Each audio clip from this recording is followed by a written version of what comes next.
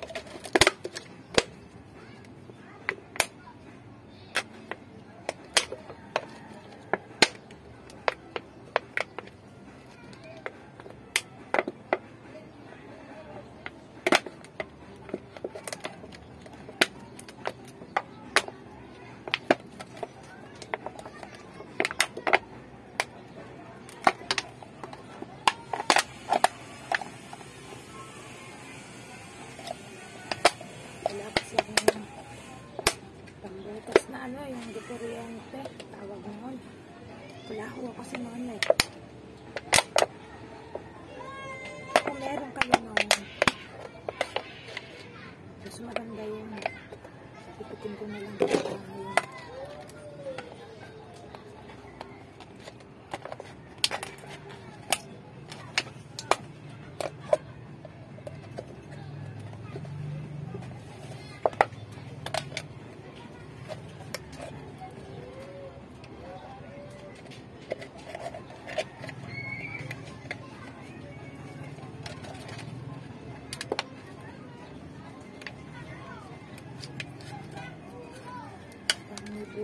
kasi.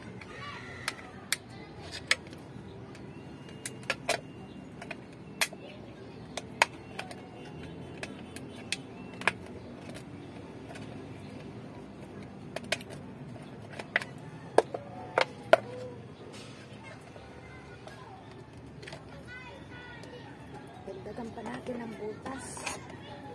Mga plantita.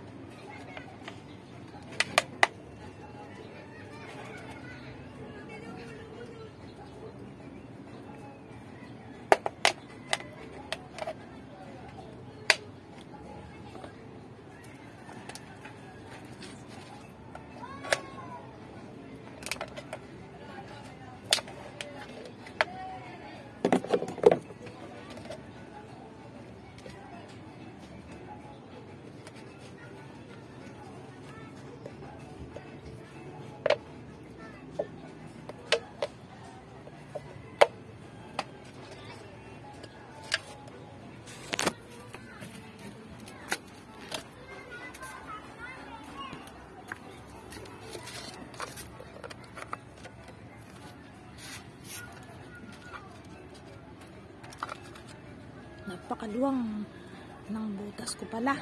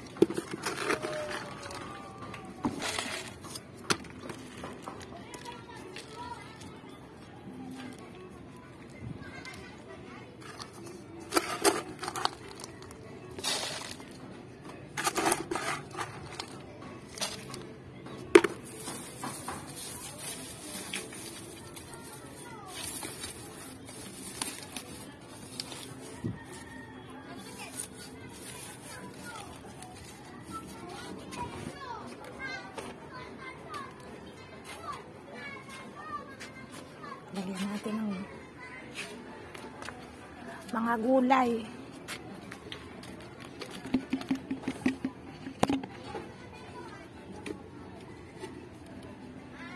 Mga prutas na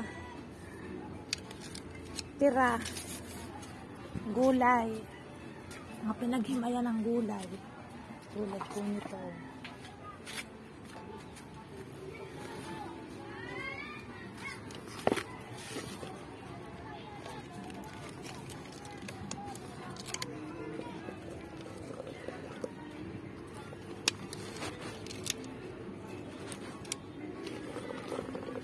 Tagal kasi mabulok sa ano. Sa ano po yung inaano kong mga organic na pataba, yung mga pinaghimayan ng mga gulay, prutas. Ang tagal mabulok. Nakita akong ganito.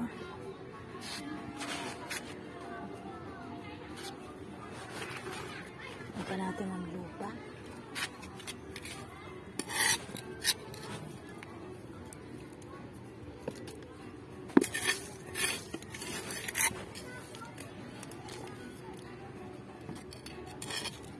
para ma pataba agad ang halaman para um, umanda yung mga tanim nyo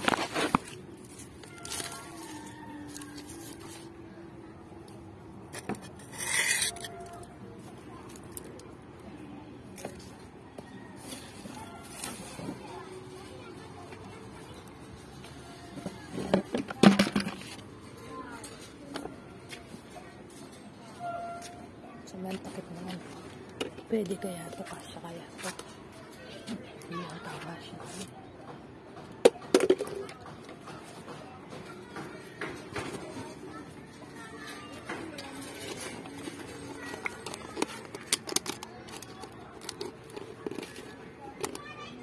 Ay, diligan pa pala muna. Diligan pa po muna natin. Para ano agad yung mga gulay.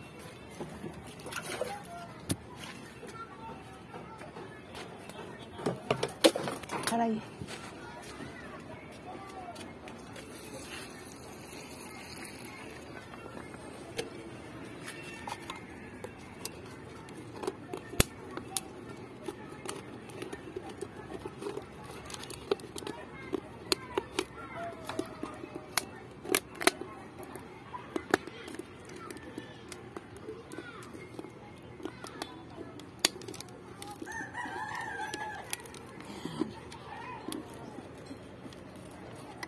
Bago na naman. Yan. Gawa po ulit tayo.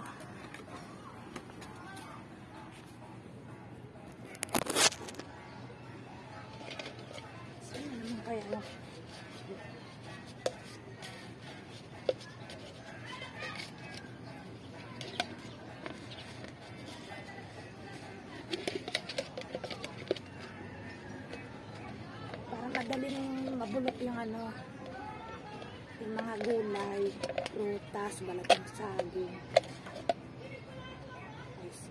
May nakita ko yung ganyan ang ginagawa nila. Kayahin natin mga plantita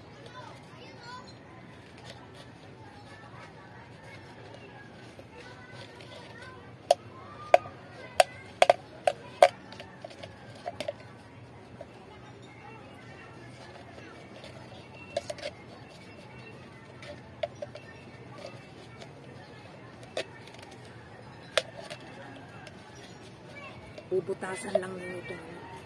Siyempre para lumabas yung tatas ng mga gulay. Yan ang magiging pataba nila.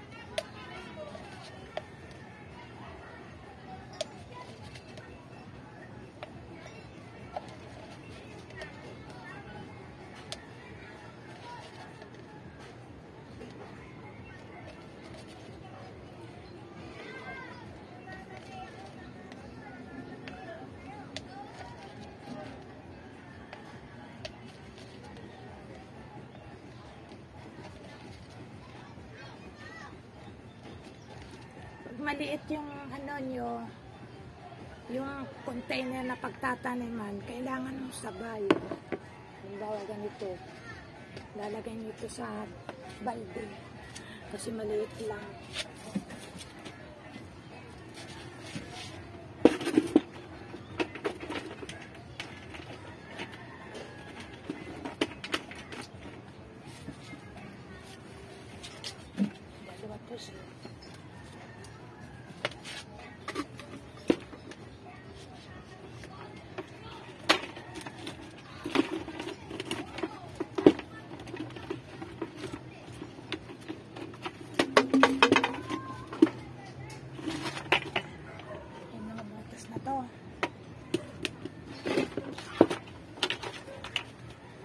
Ito balde ko. Lagay nyo sa ligit ng ganyan. May butas na po yan. Tapos lagyan nyo ng lupa. Dito sa gitna itong ano. Pwedeng malaki. Kung may malaki kayong ano. Diyan yung ilagay. Pwedeng yung ano rin ulit. Yung oh. Ako dito. Malaki. Ito. Itasan nyo. Ito. Nyo. Itasan nyo dito. Tapos yung saan yung ilagay dito, ganyan.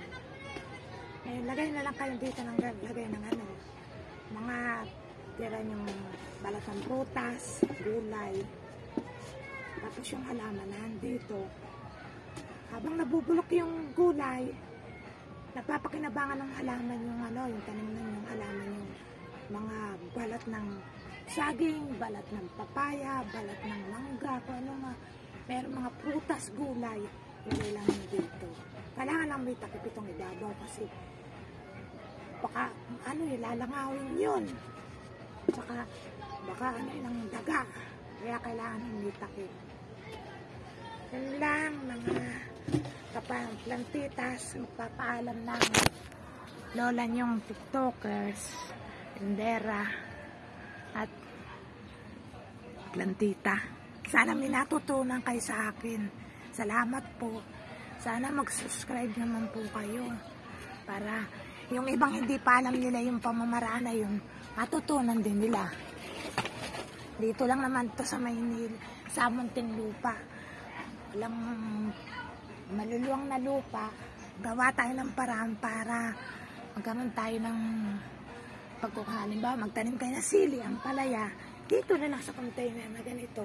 Ay yung ganong paraan na naisip ko, mabilis lumaki yung halaman, mataba, makikinabang sigurado kayo sa mabunga ng maganda yung halaman nyo. Tapos, kung may pinerment pa kayong ano, pwede nyo pa rin biligin. Di lalong mabilis, ano, yung mabunga halaman nyo, mabilis bumunga, mabilis pa kinabangan. Hindi na kayo bibili ng ampalayang ubod ng mahal, yung siling kamahal-mahal. Kung may mga lugar kayo na pwedeng pagtamnan nyo, tanim, magtanim kayo. Sayang naman. Para hindi nyo lahat bibiliin kasi mahal dito sa Manila. Lahat binibili. Lahat mahal. Sige po, bye-bye. Salamat. Subscribe kayo kung may natutunan kayo sa akin. Sige po, salamat. Bye-bye.